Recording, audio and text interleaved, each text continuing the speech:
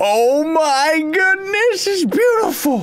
What's up, dudes and dudes in the internet? My name's Scythe, and oh my goodness, some of these mods are very, very old, but they are so, so cool. Either way, I hope that you enjoyed today's video. Hope your day is fantastic. Would very much appreciate if you would smack the like button for me. Helps me out more than you could ever know, everybody. These mods were created by Tyzillion and B Yellow. B Yellow ended up making this slime mount, which is amazing. Look at it. It looks so beautiful. Oh, the the the Minecraft the Minecraft willies. That's that's what I'm getting. And then we've got the old Steve skin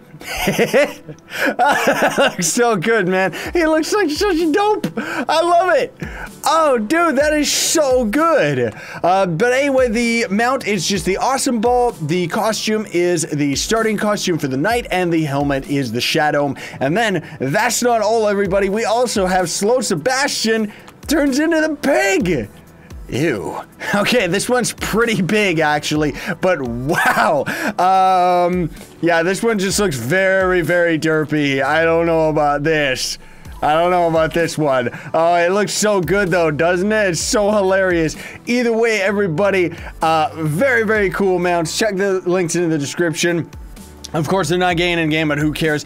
I would love to see more Minecraft theme mods in this game. I think that would be fantastic and very easy too, because we already have like stuff to reference. Either way, thanks for watching, everybody. Sign Sayonara and stay epic.